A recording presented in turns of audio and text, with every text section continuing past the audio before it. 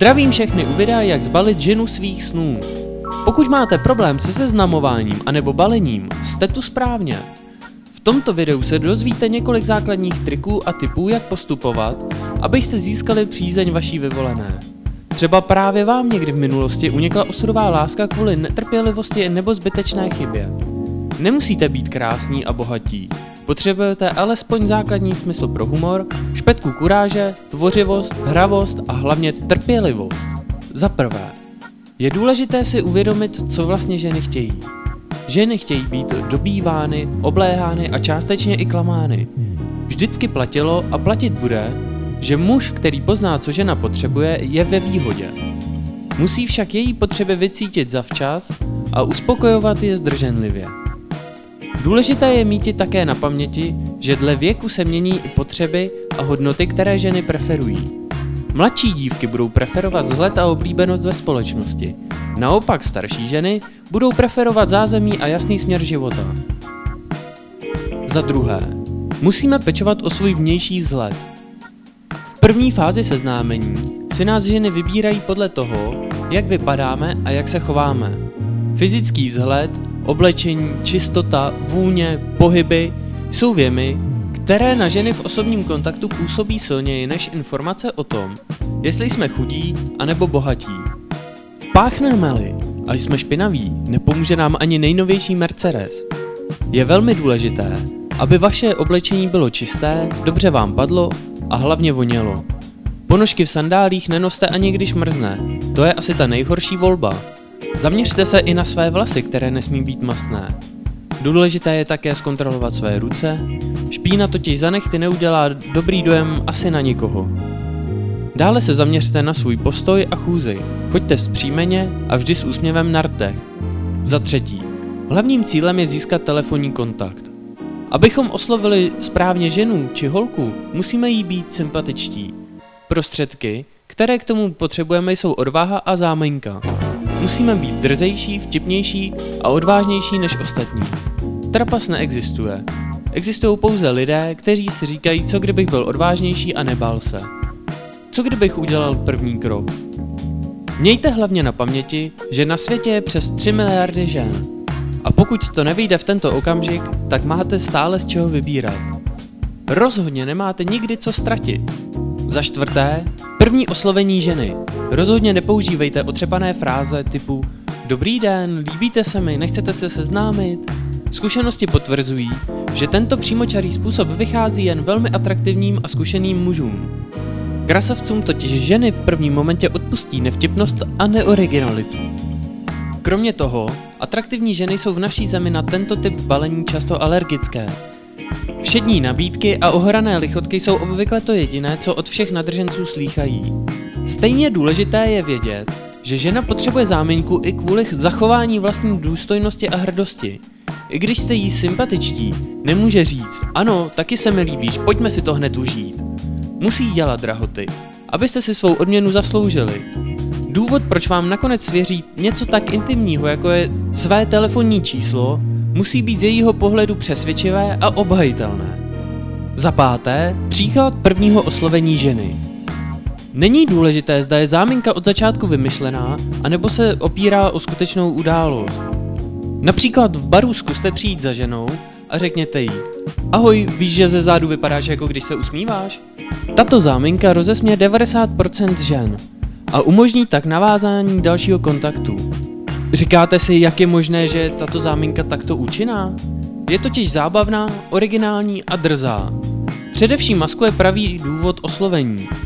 Muž používající záminku předstírá, že se nechce s dívkou seznámit, ale že pouze splní jakousi oznamovací povinnost. A provede to velmi zábavně, aniž by ji lichotil. Za šesté, mnoho žen věří na osud. Je velmi dobré využít okolností a zneužít náhodů. Pokud si všimnete na ulici bezradné ženy, která se rozhlíží, nebo se dívá do mapy, oslovte ji s úsměvem. Vidím, že něco hledáš a já vím, kde to najdeš. Pravděpodobně odpoví ve smyslu, jak můžeš vědět, co hledám. Hledáš někoho, kdo ti poradí, nebo snad ne? Pokud přitaká, pak využijete situace a navedete ji správným směrem. Můžete třeba použít frázi jdu stejným směrem, doprovodím tě. Za sedmé, Ženu můžete oslovit i v autobuse. Použijete na to nečekaně opačnou a tedy vtipnější frázi, ve které se skrývá inspirace pro další vtipkování. Konverzaci tedy můžete začít frází Neznáš mě od někuď? Jde o typickou vtipnou drzost. Chlapci a muži často začínají frází Neznáme se od někuď, která je poněkud provařená a nevtipná. Rozhovor v autobuse může tedy vypadat následovně. Ahoj, neznáš mě od někuď? To teda neznám, měla bych? Ani ne, ale lidi na ulici mě už pár měsíců zdraví a já nevím proč, tak se raději ptám předem, když se vedle někoho sedám. Konečně někdo, kdo mě nezná. Fakt tě můžu uklidnit, ale nikdy jsem tě neviděla. Ani nevíš, jaká je to úleva. Nejsi trochu na hlavu? Asi jo, ale kdo není? Co pak ty nejsi na hlavu? Občas o mě říkají, že jsem trochu blázen. No vidíš, a já jsem Martin a vítám tě mezi námi. Načež vám dívka odpoví, ahoj, já jsem Marta. A už víte její jméno a máte záminku pro další konverzaci. Za osmé, příklad oslovení ženy ve výtahu. Pokud do výtahu přistoupí žena, která vás imponuje, můžete zkusit tuto slovní hru. Jak se vám ve výtahu jede? Ale nemám si na co stěžovat, proč se ptáte? Jsem servisní technik výtahu a zajímá nás, jak jste spokojeni s naší prací. Tyto dva příklady měly spíše poukázat na to, jak je dobré využít aktuální situace. Nebát se a být lehce vtipný a drzý. Za deváté, nedoporučená oslovení a záminky. Uvedeme si pár nejčastějších záminek a oslovení, které vás většinou pohřbí dříve, než váš pokus začne. Obloukem se tedy vyhněte těmto oslovením. Neznáme se od někuď, někoho mi připomínáte, jste velmi pěkná, nechcete se seznámit, jste krásná, nejste náhodou modelka, líbíte se mi, můžu vás pozvat na kafe, a nebo klasické, sluší vám to. S těmito frázemi nedojdete dál než prostrohé, děkuji za kompliment. Také mezi zakázané fráze můžeme přiřadit oslovováním omluvou, tedy pokud jste na ní předtím nevylili svůj nápoj anebo jí nespůsobili nějakou újmu. V žádném případě neříkejte, slečno, omlouvám se, ale... Nebo promiňte, že obtěžuji. Je jasné, že v tomto okamžiku obtěžujete a pravděpodobně si nahráváte k jasné odpovědi. Ano, obtěžujete. Za desáté, kdy si říct o kontakt? O číslo si řekněte i hned, když ucítíte sympatie. A ženu něčím pobavíte, anebo máte dojem, že se vám zkrátka něco povedlo. Neříkejte si ale o číslo dříve, než po třech minutách úspěšně vedené konverzace. Vždy a za každých okolností se při návrhu usmívejte. Do úsměvu se vždycky říká hůře ne. Za jedenácté, mají ženy rády chválu? Samozřejmě, že mají, ale musí být chvála vyslovena rafinovaně, aby žena uvěřila, že ji považujete za výjimečnou. Lichotky od muže, který neumí jinak zaujmout, působí jako tanga na škaredém zadku. Pro kompliment vyhledávejte vždy nějakou osobní výjimečnost. Pokud se vám zdá, že je žena úplně obyčejná žádná výjimečnost na ní neexistuje, podporujte je alespoň v tom, co na sobě nejvíce cení sama. Ale můžu vás ujistit, že výjimečnost vždy najdete. Její obyčejnost by musela být stoprocentní, což je samo o sobě dost výjimečné. Dobře mířená pochvala je jako zvuk dobře laděného výfuku. S chválou se to ale nesmí přehánět. Můžete vyslovit chválu maximálně dvakrát za schůzku. Hlavně ji nevychvalujte v každé větě. Za dvanácté, příklady, jak vyslovit chválu. Můžeš se zamračit? Proč? Chci vědět, jestli ten krásný úsměv máš na obličeji natrvalo, anebo je to jenom make-up. No jo, fakt je to natrvalo. A nebo, víš, že jsi výjimka mezi holkama? A v čem? Máš jemný smysl pro humor. Když uslyšíte odpověď, díky za kompliment, odpověste, to nebyl kompliment, říkám, co vidím. Pokud vám žena na to odpoví, to mi ještě nikdy nikdo neřekl. Jste o krůček blíže svému úspěchu. Za třinácté, balit se dá kdekoliv. Je jedno, jestli balíte na poště, v hospodě, kavárně anebo při prohlídce zámku. Důležité je využít své příležitosti. V případě neúspěchu můžete vždy zmizet v davu. Za čtrnácté, jak zvýšit svou přitažlivost. Nesmíte v tom, co říkáte o svých citech k ní, zajít dál, než kam zajde ona. když hovoří o svých citech k vám a řekne například, jsi mi sympatický, tak vaše odpověď nesmí rozhodně znít, já tě miluju. Odpovězte jednoduchou frází. Bylo mi s tebou dobře. Za žádných okolností nesmíte mluvit o svých horoucích citech, které cítíte. A to ani i kdybyste umírali samou láskou, dokud žena nevyjádří city své. Za 15. Základ komunikace. Co se týče rychlostí reakcí na textové zprávy, dělejte mírně delší pauzy, než dělá ona. Když se spožďuje v odpovědi, nikdy neurgujte. Tak co? Tak už napiš, co je s tebou? Čekám. Nikdy si také nestěžujte na to, že reaguje se spožděním. Dále také netelefonujte po půlnoci anebo nad ránem. Nedávejte ženě najevo, že na ní nepřetržitě myslíte, a nebo dokonce, že kvůli ní nespíte. Hlavně nepište zprávy pod vlivem drog anebo alkoholu. Dále také nesmíte dávat najevo skutečný žal či zklamání, když žena zruší schůzku. Stačí bez emocí odpovědět, dobře, chápu, přizpůsobím se. Za 16. Snaživost, která vás může znemožnit. Květina nebo dárek, které donesete na první setkání, je spíše odrazující. Pokud nutně potřebujete něčit flóru, nemusíte ani utrácet. Kytička utržená a darovaná během schůzky udělá daleko větší radost. Pokud cítíte, že k vám žena necítí sympatie, nesnažte se jí koupit květinou nebo dárečkem. Stojí to peníze a je to zbytečné. Za sedmnácté, kdy a jak se jí poprvé ozvat. Taktickým pravidlem číslo jedna je neozývat se hned poté, co jste získali kontakt. Pokud se ozvete i hned, budete vypadat jako, že příliš naléháte a dostanete se do nevýhodné pozice.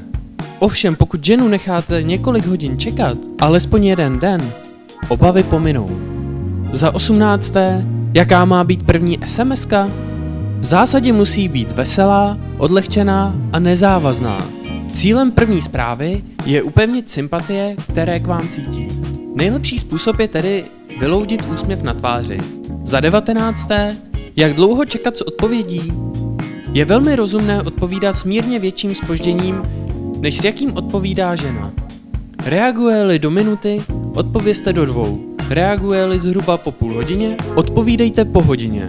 Nechá vás čekat 3 až 4 hodiny? Nebo odpoví až druhý den? Přizpůsobte se a reagujte obdobně lenivě. Za 20. Co když žena přestane odpovídat? Hlavně zachovejte klid a nekřičte Ztrácíme jí! v operačním sále. Možná skutečně nemůže žena psát, nebo jí došel kredit, a nebo vás také může zkoušet. Rozhodně neurgujte a netlačte na pilu. S dalším kontaktem počkejte alespoň do dalšího dne, poté jí zavolejte anebo napište něco vtipného. Pokud vám nezvedne telefon ani po třech zavoláních, už netlačte a postavte jí malý pomníček. Hold to nevyšlo. Za 20. Pocity v SMSce. Při zmiňování svých pocitů do SMS zprávy buďte daleko zdrženlivější, než když s ženou hovoříte osobně. Dokud vám sama nenaznačí silnou přízeň, vyhněte se emotivním slovům jako láska a milovat. Za 22. Co dělat, pokud dostanu telefonní kontakt od kamaráda? Pokud jste telefonní číslo získali jinak než přímo od, od ženy a ona neví, že máte její telefonní číslo, nepište, ale určitě volejte. Získat něčí číslo bez jeho souhlasu a vědomí je dost nepříjemný zásah do soukromí. I když je telefonát agresivnější než zpráva, nemáte na vybranou. Dokud vás nezná, velmi záleží na tom, jak se představíte, jak vtipně jí vysvětlíte, kde jste vzali číslo a jak naznačíte, co vlastně chcete. Pomocí výměny pár SMSek si můžete chvíli hrát na tajného ctitele, ale vzbudíte spíše pochybnost než přitažlivost. Při telefonování se aktivujte prostředím. Neseďte, neležte, ale choďte po místnosti. Pohyb a okolní ruch stimulují smysly, povzbudí mozek, inspiruje vás a uvolní. Za 23. Kdy a jak ženu pozvat na rande? Nikdy v žádném případě nesmíte zvát, prosit nebo žádat. Musíte pouze navrhovat. Použijte fráze jako navrhuji, co kdybychom, mám nápad, co bys řekla na a podobně. Řeknu vám, je být moc ráda, že chlap jako vy jí chce vytáhnout někam ven. Váš návrh ovšem musí být odlehčený, jako by šlo o něco jiného, než o to, o co vám ve skutečnosti jde. Jako byste jí chtěli vzít sebou někam, kam jste měli vlastně v plánu jít i bez ní. Za 24. kam vzít ženu na první schůzku. Účelem prvního setkání není dívku nebo ženu dostat hned do postele, i přesto, že to možné je. Při první schůzce nám především jde o to, zjistit, zda se nám opravdu líbí, pobavit se a hlavně zapůsobit jako sympatický, přitažlivý a výjimečný muž. Místo vašeho setkání by proto mělo poskytovat možnost pro výměnu názorů. Mělo by být podnětné, atraktivní a zábavné. Nikdy nenechávejte výběr místa na ženě. V návrhu k setkání navrhněte místo, kam spolu půjdete a co tam budete dělat. Musíte dát jasně najevo, že program organizujete vy a že se o něj nemusí žena vůbec starat. Jste přece mužčinu. Na první rande nezvěte ženu k sobě domů. Ovšem, pokud nebydlíte na nějakém neobvyklém místě, třeba v majáku, to mění celou situaci. Při výběru místa si dejte velký, ale opravdu velký pozor na odlehlá a opuštěná místa. Odlehlá a opuštěná místa působí a vyvolávají pochybnosti o vašich úmyslech. Za 25. první schůzka. Na první rande velmi doporučuji se připravit. Připravit si nějakou historku a nějaké icebreaky. Balení je přece hra a být připraven na hru se prostě vyplácí. Na první schůzce bývají dívky velmi nervózní. Své sympatie prostě nedají hned najevo. Její převážně vážná tvář svědčí mnohdy jen o její nejistotě. A skutečný výsledek testu se dozvíte až po skončení schůzky. Na první schůzku je důležité mít připravená témata a originálním způsobem se dozvědět něco o nové známosti. Za 26. Otázky konverzace. Otázky konverzace, které vám teď sdělím, nesmíte pokládat doslovně a v dotazníkovém tempu. Otázky berte pouze jen jako inspiraci. Nevedete přeci dotazník, ale vedete rozhovor. Můžete se zeptat, baví tě práce nebo škola?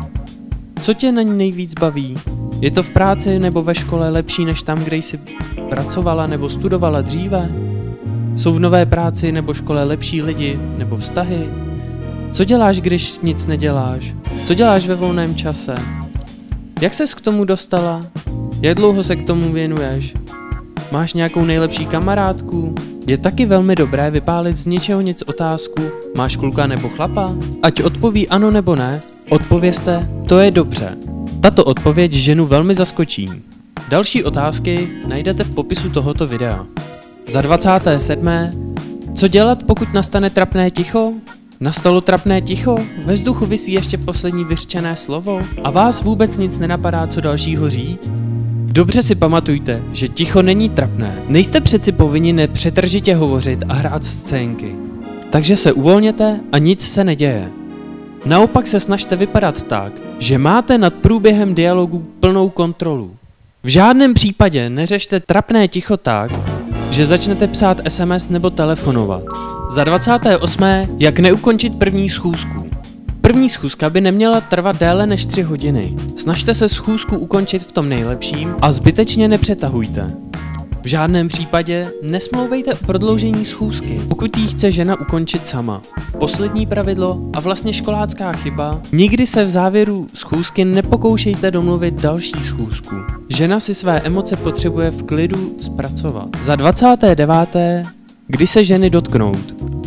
Cílem první schůzky je udělat ze sebe co největšího sympatiáka. A sympatiáci jsou zralí a zdrženliví. Proto doteky na první schůzce není to pravé ořechové. K letmým dotekům přicházíme až v další schůzek. Letmé doteky musí vypadat, jako že se to stalo náhodou. Například si vám žena postěžuje na své velké pracovní vytížení a vy kromě slovního politování pohladíte krátce po paži. Pohlazení musí být kratší než vteřinové a musí být spíše přátelské než láskyplné. Na dalších schůzkách můžete přejít k nesměným dotykům. Mezi tyto dotyky patří pohlazení po tváři, po vlasech, krátké obětí a taky smělý polibek na tvář. Vše samozřejmě za předpokladu, že cítíte, že žena k vám cítí sympatie. Za třicáté schrnutí. Nebojte se být originální a jen si hlídejte, abyste to nepřehnali. Případné odmítnutí nesmíte nikdy považovat za prohru, ale bráte ji s humorem. Však jste nabrali další zkušenosti. Buďte sympatičtí, lehce drzí a hlavně vtipní. Pokud vám na ženě záleží, Nepokoušejte se na první schůzce o polibek. První schůzku ponechejte nejlépe bezdotykovou. Pokud jste dokoukali video až sem, věřím, že nyní můžete vyrazit do ulic a začít balit holky. Zanechte nám prosím u videa like, klikněte také na tlačítko odběr, aby vám neutekly další nové tipy, triky a topy. Zanechte také komentář, zdali vám video pomohlo, v čem jste dělali třeba konkrétní chyby a jak se jednotlivé techniky osvědčily v praxi.